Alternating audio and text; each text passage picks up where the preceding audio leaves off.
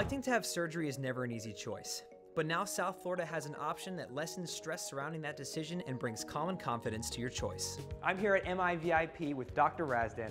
Doctor, what are we talking about today? 29,000 men in the United States die of prostate cancer every year. Just imagine a Boeing 747 with 550 passengers, all men, crashing every day and all of them dying. That is the magnitude of the problem.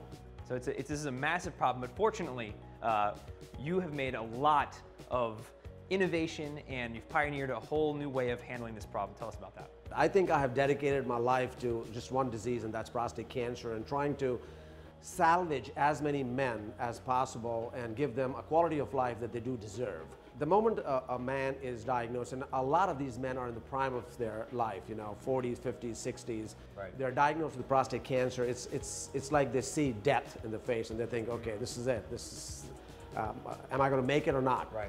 The two main questions that are posed to anyone who's uh, who's going to be treating prostate cancer is, am I going to be less of a man after this procedure? And the other is, uh, am I going to be able to urinate normally? Or am right. I going to be wearing diapers for the rest of my life? Right. Um, that being said, we went ahead and we, as you said, we were pioneers in this. We published the first text uh, right. on these two questions that are posed. Right. Urinary continence and sexual function after robotic radical prostatectomy.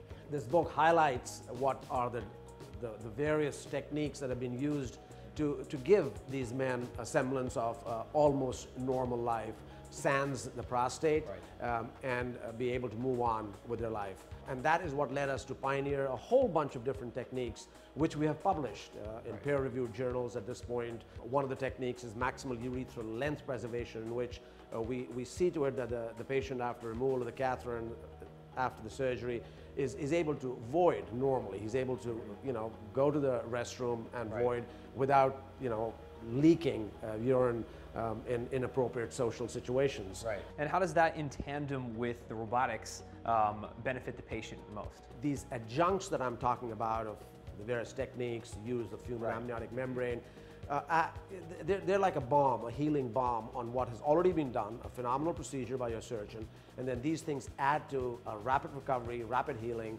and better outcomes. Because ultimately you're trying to get the patient back to their regular life, feeling like themselves and enjoying uh, their life. Absolutely, that, that is the take-home message.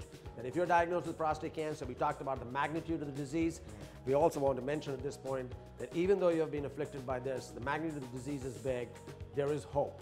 Right. And with all these techniques that we have, we can almost assure you that you may and you will hopefully be back to your pre-surgical quality of life and go on with your routine. Of course, there are no guarantees of everything, but you guys are getting as Very close, as you possibly can get. As close as it can be. Well, here at MIVIP, you not only get the cutting edge technology with the robotics, but you also have the people pioneering the better quality of life for you so that you can get back to living your best life.